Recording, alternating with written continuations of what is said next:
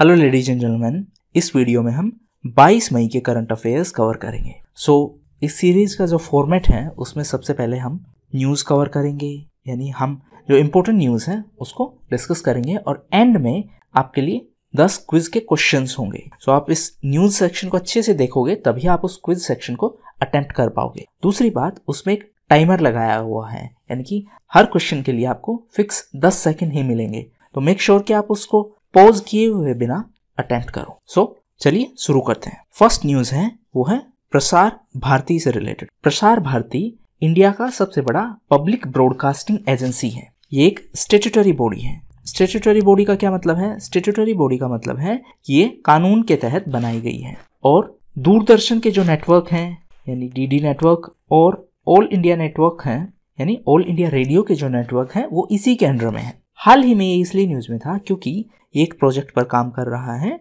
DD international. यानी कि दुनिया में इंडिया का पर्सपेक्टिव रखने के लिए हम एक नया टीवी चैनल लॉन्च करने वाले हैं, जिसका नाम होगा डीडी इंटरनेशनल। और प्रसार भारती इस प्रोजेक्ट पर काम शुरू करने वाला है। इसीलिए ये सब न्यूज़ में था। पब्लिक ब्रॉडकास्टिंग की बात करें तो हर साल 12 नवंबर को पब्लिक सर्विस ब्रॉडकास्टिंग डे के तौर पर मनाया जाता है। 12 नवंबर को इसलिए मनाया जाता है क्योंकि 12 नवंबर को गांधी जी पहली बार ऑल इंडिया रेडियो के स्टेशन पर दिल्ली में गए थे। सो ऑल इंडिया रेडियो का जो स्टेशन दिल्ली में था, वहाँ पर गांधी जी पहली बार गए थे 12 नवंबर उन्नीस को। इसी की सिग्निफिकेंस में 12 नवंबर को पब्लिक सर्विस ब्रॉडकास्टिंग डे के तौर पर मनाया जाता है। इसके अलावा 21 मई को, यानी कि कल एंटी टेररिज्म डे के तौर पर ऑब्ज़र्व किया गया। 21 मई इसलिए स्पेशल है क्योंकि 21 मई को भारत के पूर्व प्रधानमंत्री राजीव गांधी की हत्या कर दी गई थी और ये घटना हुई थी 1991 में। इसके अलावा 21 मई की बात करें तो 21 मई को world day for cultural diversity के तौर पर भी मनाया जाता है।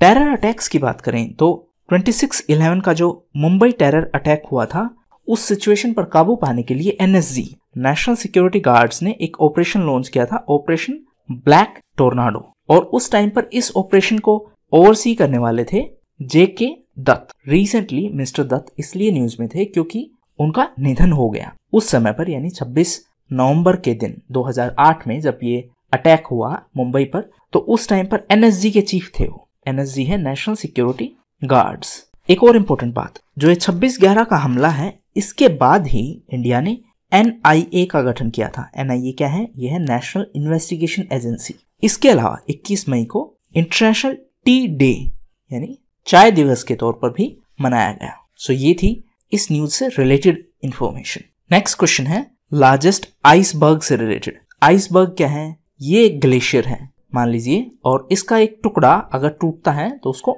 आइसबर्ग बोलते हैं। हाल ही में दुनिया का सबसे बड़ा आइसबर्ग न्यूज़ में था क्योंकि ये अंटार्कटिका के ग्लेशियर से अलग हुआ है और इसको नाम दिया गया है ए सेवेंटी सिक्स। तो अगर इस पे हम क्लोजर लुक डालें तो ये है ए सेवेंटी सिक्स ये एक आइसबर्ग है और अब ये वेडल सी में तैर रहा है। सो ये इसकी जोग्राफिकल लोकेशन है। ये वेडल सी है और ये वो आइसबर्ग है जो अलग हुआ है, जो टूटा है। आप देख सकते हो, ये इससे अलग हो गया है। आइसबर्ग का नाम दिया गया है ए सेवेंटी सिक्स ये अब वेडल सी में तैर रहा है। वेडल सी की जोग्राफिकल लोकेशन की बात करें तो ये है साउथ अमेरिका और यहाँ पर यह है वेडल सी ये है अंटार्कटिका ये है पैसिफिक ओशन ये है अटलांटिक ओशन नेक्स्ट न्यूज़ है फर्टिलाइज़र सब्सिडी से रिलेटेड सो so, हाल ही में केंद्र सरकार ने डीएपी पर जो सब्सिडी मिलती थी उसको 140 परसेंट इंक्रीज कर दिया। सबसे पहले जानते हैं डीएपी क्या है। डीएपी है डाई अमोनियम फॉस्फेट सो ये एक फर्टिलाइज़र है। अब पहले ये सत्रह सौ रुपए का था जिसमें सरकार यानी कि सेंट्रल गवर्नमेंट पाँच सौ रुपए की सब्सिडी देती थी और किसान को ये बारह सौ रुपए में पड़ता था। मान लीजिए आप एक कंपनी हो ए वन और आप ये फर्टिलाइज़र बनाते हो तो आपको टोटल कॉस्ट पड़ी मतलब जिस जिस कॉस्ट में आप बेचोगे इसको तो ये सत्रह सौ रुपए है, जिसमें से पाँच सौ रुपए आपको सरकार देती थी और बारह सौ रुपए आपको किसान देता। अब क्या हुआ कि इसका इनपुट महँगा हो गया। इनपुट यानी कि जो रॉ मटेरियल इस फर्टिलाइज़र को बनाने के लिए यूज़ में लिया जाता है, वो महँगा हो गया। रॉ मटेरियल कौन कौन से हैं इसके लिए? इसके लिए एक मटेरियल है अमोनिया और दूसरा है फॉस्फोरिक एसिड अब ये महँगे हो गए तो इसका रेट ज़्यादा हो गया। अब इसका रेट हो गया चौबीस सौ रुपए। तो सरकार ने क्या किया है कि सरकार ने अब ये 500 के बजाय सब्सिडी है वो बारह सौ रुपए देना शुरू कर दी। यानी किसान को अब भी ये बारह सौ में ही पड़ेगा, जबकि इसका एक्चुअल जो कॉस्ट है वो चौबीस सौ रुपए है। तो गवर्नमेंट ने इसके लिए सब्सिडी में इंक्रीमेंट की घोषणा की है। ये 140 परसेंट इंक्रीमेंट है, जैसा कि आप न्यूज़ में देख सकते हो। सो इसके लिए गवर्नमेंट एडिशनली चौदह हज़ार सात सौ पिछहत्तर करोड़ रुपए एक्स्ट्रा खर्च करेगी। तो टोटल अब फर्टिलाइज़र पर जो सब्सिडी है, वो है नाइन्टी फाइव थाउज़ेंड की। इसके अलावा फार्मर्स के लिए हाल ही में एक और इवेंट न्यूज़ में थी, ये है पीएम किसान स्कीम यानी प्रधानमंत्री किसान सम्मान निधि। सो इस स्कीम के तहत सरकार छह हज़ार रुपए किसानों को देती है, और ये छह हज़ार रुपए तीन इंस्टॉलमेंट में, यानी तीन किस्तों में दिए जाते हैं। दो हज़ार दो हज़ार और दो हज़ार। सो ये स्कीम उत्तर प्रदेश के गोरखपुर से लॉन्च की गई थी। और इस स्कीम को इम्प्लीमेंट करने की नोडल जो अथॉरिटी है, वो है ministry of agriculture and farmers welfare हाल ही में स्कीम इसलिए न्यूज़ में थी क्योंकि सरकार ने इसकी एट्थ इंस्टॉलमेंट रिलीज़ की है। एक साल में तीन इंस्टॉलमेंट्स होंगी तो सरकार ने हाल ही में इसकी एट्थ इंस्टॉलमेंट रिलीज़ की है। नेक्स्ट न्यूज़ है यूनेस्को वर्ल्ड हेरिटेज साइट से रिलेटेड सो हाल ही में ASI यानी आर्कियोलॉजिकल सर्वे ऑफ़ इंडिया ने छह इंडियन साइट्स का नाम यूनेस्को को सबमिट किया है। और ये नाम इसलिए सबमिट किए गए हैं ताकि इन्हें यूनेस्को की वर्ल्ड हेरिटेज साइट्स की लिस्ट में शामिल किया जा सके। सो so, ये छह साइट्स कौन कौन सी हैं? एक है सतपुरा टाइगर रिज़र्व जो कि मध्य प्रदेश में है। दूसरा है river front of city of Varanasi यानी वाराणसी का गंगा घाट। वाराणसी उत्तर प्रदेश में है। तीसरा है megalithic site of Hire Benkal ये कर्नाटका में है। चौथी साइट है मराठा मिलिट्री आर्किटेक्चर जो कि महाराष्ट्र में है, और पांचवी साइट है बेदा घाट, लमता घाट, जो कि नर्मदा वैली में है, जबलपुर में, और लास्ट साइट है कांचीपुरम के टेम्पल्स ये टेम्पल्स कहाँ हैं? ये है तमिलनाडु में। सो ये छह साइट्स न्यूज़ में थी। एएसआई की बात करें तो ये है आर्कियोलॉजिकल सर्वे ऑफ़ इंडिया एक इंपॉर्टेंट बात मैं आपको बताना भूल गया कि मेरे रेगुलर डिवाइस में कुछ प्रॉब्लम है। सो हो सकता है आज आपको आवाज़ अलग लगे या स्क्रीन कुछ अलग लगे। ओके सो एएसआई है आर्कियोलॉजिकल सर्वे ऑफ़ इंडिया इसकी स्थापना 1861 में हुई थी और प्रेजेंट में इसकी जो डीजी हैं, यानी डायरेक्टर जनरल हैं, वो है वी विद्यावती और ये कल्चर मिनिस्ट्री के अंडर में है, यानी मिनिस्ट्री ऑफ़ कल्चर इसका मुख्यालय दिल्ली में स्थित है। नेक्स्ट न्यूज़ है डोमेन नेम से related so first thing first मैं आपको एक्सप्लेन कर देता हूँ कि डोमेन नेम क्या है। जैसे हमारे घर का एक एड्रेस होता है, वैसे ही इंटरनेट पर वेबसाइट्स का एक एड्रेस होता है, जैसे आप डालते हो W W W dot Google dot com so ये इसका डोमेन नेम है।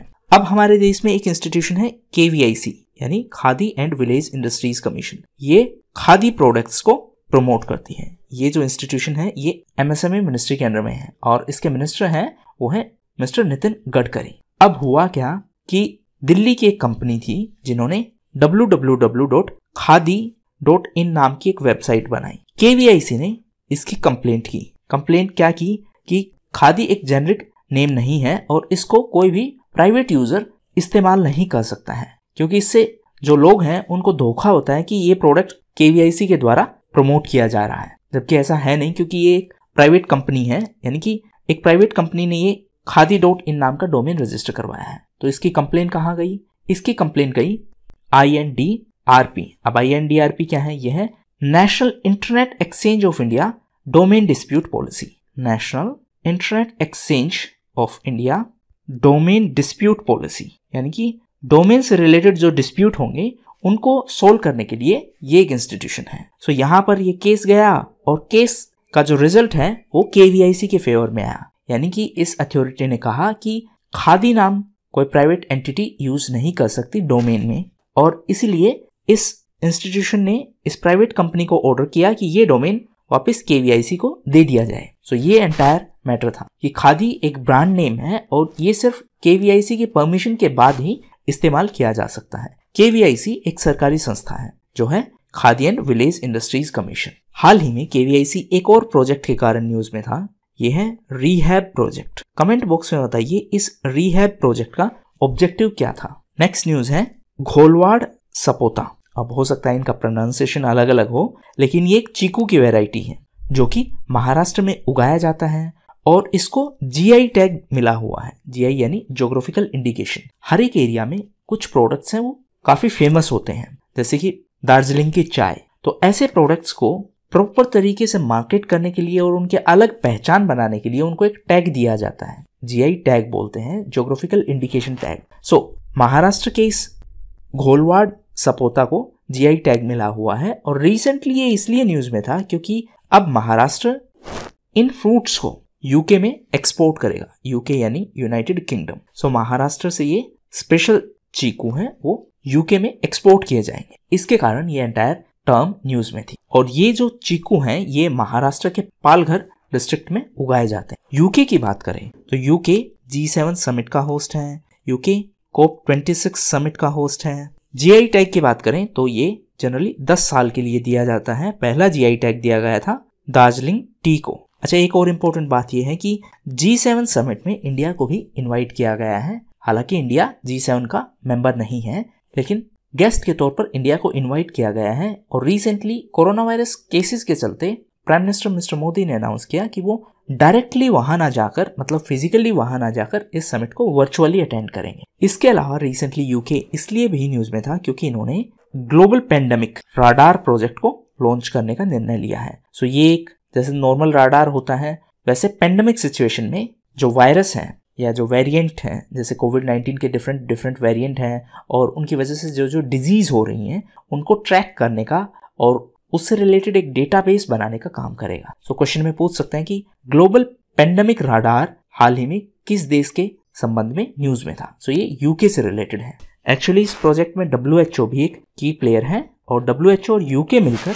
इस प्रोजेक्ट पर काम करने वाले हैं। नेक्स्ट न्यूज़ है कोवी सेल्फ से रिलेटेड सो ये एक सेल्फ टेस्ट किट है कोरोना वायरस को टेस्ट करने के लिए और इस किट को बनाया है माई लैब नाम की कंपनी ने। ये कंपनी पुणे बेस्ड है पुणे महाराष्ट्र में है। और हाल ही में आईसीएमआर यानी Indian council of medical research ने इसको अप्रूव किया है। ये एक रैपिड एंटीजन टेस्ट किट है और इसे सिंगल पर्सन अपने आप इस्तेमाल कर सकता है। आपको एक्सपर्ट की ज़रूरत नहीं पड़ेगी। यानी आप इस किट को ऑर्डर कर सकते हैं और घर पर ही टेस्ट कर सकते हैं। आईसीएमआर की बात करें तो यह है Indian council of medical research इसकी स्थापना 1911 में हुई थी। इसका मुख्यालय दिल्ली में है। इसके अलावा कोविड 19 की बात करें तो हाल ही में ये पाया गया कि कोविड 19 के कारण ब्लैक फंगस के जो केसेस हैं वो इंक्रीज हो रहे हैं। सो so, इसके लिए रिसेंटली डीसीजीआई यानी drug controller general of India ने एक मेडिसिन को अप्रूवल दिया है। इस मेडिसिन का नाम है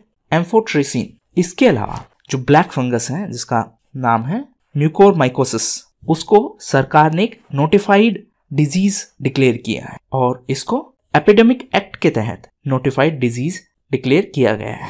इसके अलावा जो कोरोना वायरस की वैक्सीन हैं उनको मैनेज करने के लिए सरकार ने एक पोर्टल भी लॉन्च किया था कोविन पोर्टल जहाँ से आप वैक्सीनेशन के लिए रजिस्टर करवाते हैं। तो रिसेंटली हेल्थ मिनिस्ट्री ने अनाउंस किया कि इस पोर्टल को अलग अलग लैंग्वेज में भी लॉन्च किया जाएगा। सो so, इसको हिंदी और 14 अदर रीजनल लैंग्वेज में लॉन्च किया जाएगा। इसकी रिसेंटली हेल्थ मिनिस्टर ने अनाउंसमेंट की थी। इसके अलावा हेल्थ सेक्टर से संबंधित एक और स्कीम न्यूज़ में थी। ये स्कीम है पीएम स्वास्थ्य सुरक्षा योजना और इस स्कीम के तहत रिसेंटली नए एम्स की अनाउंसमेंट की गई है। एम्स क्या है? All India institute of medical sciences so इस स्कीम के तहत नए एम्स को बनाने की घोषणा की गई है। स्कीम का नाम है पीएम स्वास्थ्य सुरक्षा योजना नेक्स्ट न्यूज़ है global action plan for healthy lives and well being for all so इस एक्शन प्लान पर एक second annual report recently WHO ने जारी की थी। डब्ल्यूएचओ क्या है? वर्ल्ड हेल्थ ऑर्गेनाइजेशन हेल्थ की बात करें तो ये थर्ड सस्टेनेबल डेवलपमेंट गोल है। सस्टेनेबल डेवलपमेंट गोल्स टोटल 17 है और इनकी अनाउंसमेंट 2015 में की गई थी। इसका टारगेट है, यानी कि इनको अचीव करने का टारगेट है 2030 तक। सो ये टोटल 17 सस्टेनेबल डेवलपमेंट गोल्स हैं। इनसे पहले थे एम यानी मिलेनियम डेवलपमेंट गोल्स और 2015 से 2030 के बीच अभी जो टारगेट है, वो है इन सस्टेनेबल डेवलपमेंट गोल्स को अचीव करने का। so आप स्क्रीन पोज करके इसका स्क्रीनशॉट ले सकते हो। नेक्स्ट न्यूज़ है स्टार फोर्ज सो ये एक थ्री मॉडल तैयार किया गया है। स्टार्स कैसे बनते हैं? यानी कि स्टार्स फॉर्मेशन को दिखाने के लिए एक थ्री मॉडल बनाया गया है और इसको नाम दिया गया है स्टार फोर्ज इसका फुल फॉर्म है, यानी स्टार फोर्ज का फुल फॉर्म है। Star formation in gaseous environment so ये एक थ्री सिमुलेशन है। कि किस तरीके से स्टार्स बने और कैसे उनमें इवोल्यूशन हुआ। और ये पहला सिमुलेशन है जिसने थ्री लेवल पर इन स्टार्स को इस वे में रिप्रेजेंट किया है और इसे डेवलप किया है नॉर्थ वेस्टर्न यूनिवर्सिटी की एक टीम ने। सो आपसे क्वेश्चन में पूछ सकते हैं कि स्टार फोर्ज नाम की जो टर्म रिसेंटली न्यूज़ में थी ये किससे रिलेटेड है? सो so, ये एक थ्री मॉडल है थ्री डी सिमुलेशन मॉडल है स्टार्स के फॉर्मेशन से रिलेटेड नेक्स्ट है रिसेंटली दो पर्सनैलिटीज न्यूज़ में थी क्योंकि उनको 2020 के मिलेनियम टेक्नोलॉजी प्राइज के लिए सेलेक्ट किया गया है। सो so, ये दो लोग कौन कौन थे एक है शंकर बाला सुब्रमण्यम और दूसरे हैं डेविड क्लेनरमैन। सो so, इन दोनों को 2020 के मिलेनियम टेक्नोलॉजी प्राइज के लिए सेलेक्ट किया गया है। ये कैम्ब्रिज यूनिवर्सिटी के केमिस्ट हैं और इनको डीएनए सीक्वेंसिंग टेक्निक्स के फ़ील्ड में काम करने के लिए ये अवार्ड के लिए सेलेक्ट किया गया है। ये जो प्राइज है ये साइंस एंड टेक्नोलॉजी के फ़ील्ड में एक प्रेस्टिजियस प्राइज है और ये हर दो साल के बाद दिया जाता है। शुरू में ये 2004 में दिया गया था और इसको दिया जाता है टेक्नोलॉजी अकेडमी फिनलैंड के द्वारा। लास्ट न्यूज़ है ओपन स्काईज ट्रीटी से related so open skies treaty क्या है? कि जो इसके सिग्नेटरी देश हैं, वो दूसरे देश में जाकर अनआर्म्ड ऑब्जर्वेशन कर सकते हैं। यानी कि बिना मिलिट्री के ऑब्जर्वेशन फ़्लाइट भेज सकते हैं। दूसरे देश की टेरिटरी में डेटा कलेक्ट करने के लिए। जैसे कि मान लीजिए इंडिया और बांग्लादेश ने ये ट्रीटी साइन की है फॉर एग्ज़ाम्पल तो बांग्लादेश अपने एयरक्राफ्ट इंडिया में भेज सकता है ये देखने के लिए कि इंडिया में बॉर्डर्स पर कुछ मिलिट्री डेवलपमेंट अलग तो नहीं है। इसी तरीके से इंडिया बांग्लादेश की साइड डेटा कलेक्ट करने के लिए अपने फ्लाइट्स भेज सकता है। सो so, ये जो ओपन स्काईज ट्रीटी थी ये इसलिए न्यूज़ में थी क्योंकि हाल ही में यूएसए और रशिया दोनों ने इस ट्रीटी से बाहर आने का निर्णय लिया है। सो रिसेंटली रशिया इसलिए न्यूज़ में था क्योंकि इन्होंने इस ट्रीटी से बाहर आने के लिए वोट किया है। यूएसए पहले ही यह अनाउंस कर चुका है कि वो इस ट्रीटी का अब सिग्नेटरी नहीं रहेगा। ये उस टाइम पर अनाउंस किया गया था जब यूएस के राष्ट्रपति थे डोनाल्ड ट्रंप अब इसमें 34 मेंबर कंट्रीज़ हैं। यूएस ने इससे एग्जिट करने का ऑलरेडी निर्णय लिया है। इसके अलावा रशिया की बात करें तो रिसेंटली रशिया और चाइना न्यूज़ में थे क्योंकि दोनों देशों ने मिलकर बिगेस्ट न्यूक्लियर पावर प्रोजेक्ट पर काम करने का निर्णय लिया है। सो so, ये थी मोस्ट इंपोर्टेंट न्यूज़ इवेंट्स बात करते हैं Colombo port city economic bill की। सो रिसेंटली श्रीलंका ने इसको पास किया है कोलंबो सिटी के यानी कोलंबो पोर्ट सिटी के डेवलपमेंट के लिए और इसमें इसका पार्टनर होगा चाइना। चाइना ने यहाँ पर निन्यानवे साल यानी 99 ईयर्स के लिए लैंड लीज पर ली है। नेक्स्ट है सिमोरगढ़ सो ये सुपर कंप्यूटर का नाम है और ये ईरान के सबसे पावरफुल सुपर कंप्यूटर का नाम है। Next renewable energy country attractiveness index so ये इंडेक्स रिसेंटली ई वाई यानी Ernest and Young global limited ने लॉन्च की है। इस इंडेक्स के हिसाब से यूएसए टॉप पोजीशन पर है चाइना सेकंड पर और इंडिया थर्ड पोजीशन पर है। नेक्स्ट है इंडिया फ़र्स्ट वुमेन क्लाइंबर यानी 2021 में माउंट एवरेस्ट को क्लाइंब करने वाली पहली भारतीय महिला है, ताशी यंगजोम वो अरुणाचल प्रदेश से हैं। नेक्स्ट है first Indian to win world choreography award. So पहले इंडियन बने हैं सुरेश मुकुंद और उनको American TV show World of Dance में कोरियोग्राफी रिलेटेड वर्क के लिए इस अवार्ड के लिए सेलेक्ट किया गया है। इस अवार्ड को कोरियो अवार्ड्स के नाम से भी जाना जाता है। सो so, अब get ready for test thank you और इस टेस्ट में आपने कितना स्कोर किया ये कमेंट बॉक्स में लिखिए।